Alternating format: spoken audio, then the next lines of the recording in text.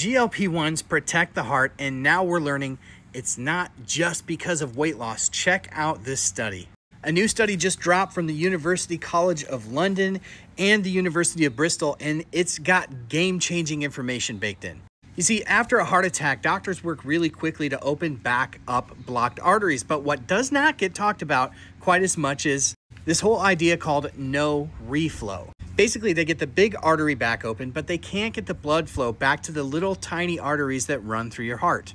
They're able to feed oxygen to the parts of your heart that are affected by heart attack, and when it's not flowing properly, obviously this leads to poorer outcomes. Well, they took a look at mice, and in these mouse models, what they found was nothing short of astounding when these mice were given GLP 1. Now, this is a really old version of GLP 1 called exenatide or Byetta. That's the one that they derived from Gila monster venom, but I digress. What they found is that the GLP 1 receptor agonist worked on the KATP channels. Think of them like little protein gates on top of the pericytes. When the GLP 1 hits them, the gates open up, allowing blood flow to these smaller arteries. They took some of these other mice and they actually blocked the GLP 1 receptors, and what happened was these little channels closed back up.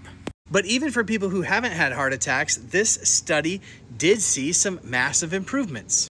They took a look at mice who had low oxygen events in their heart, and what they found is that the GLP 1 also helped to improve the oxygenation of the heart. Now, we've already seen in the select trials for Wegovy that people on semaglutide actually benefited from using GLP-1s from a cardiovascular standpoint over a four-year study, regardless of how much weight they lost or what dose they were on in the trial. Meaning that there is likely some cardiac protective benefit to taking GLP-1 that exists outside of simple weight loss.